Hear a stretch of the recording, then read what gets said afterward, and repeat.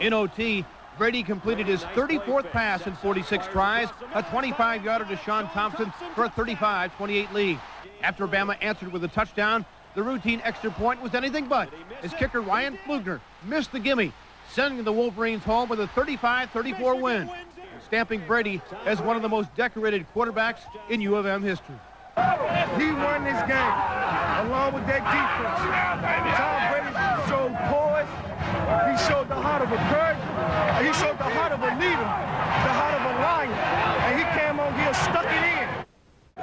Could you have had a better way to cap your career? There is no way in the world. I would have never dreamed it could be like this.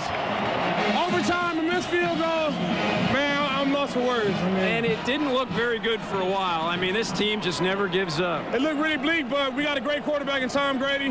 Had some great receivers, David Terrell, Marcus Knight, stepped it up, had tremendous games, and our defense, we got it done at the end. So Now you can go out and celebrate without a curfew, right? That was an amazing game. Both sides of the ball.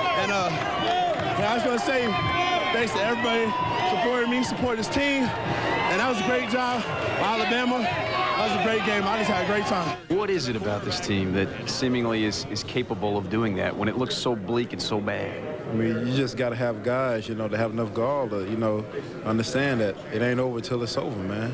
You know, I mean, you got you got seniors on, on this team that will refuse to lose, man.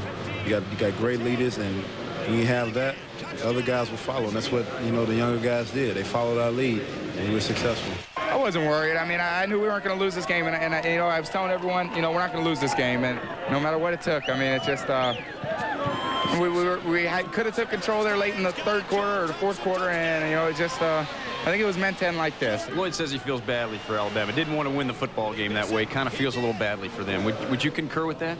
hey, a win's a win, and uh, we won the Orange Bowl. And uh, you know, if people say by how much, I'm just saying, hey, we won. I don't know how we won. We won.